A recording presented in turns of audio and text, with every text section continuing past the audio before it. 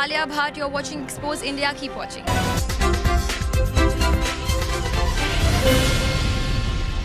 मऊ जनपद के रानीपुर में शिक्षा का हाल दिनों दिन खराब है, जिसकी वजह से यहाँ के प्राथमिक स्कूल में पढ़ने वाले बच्चों का भविष्य अंधकार में दिख रहा है पूरे स्कूल में एक ही अध्यापक है, जिसकी वजह से वह जिस कक्षा में पढ़ाते हैं, उस कक्षा के बच्चे अनुशासन का पालन करते हैं और अन्य कक्षा के बच्चे पूरे स्कूल में हुड़दंग करते हैं आलम यह है कि खंड शिक्षा अधिकारी अशोक कुमार गौतम का इस तरफ़ कोई ध्यान ही नहीं है।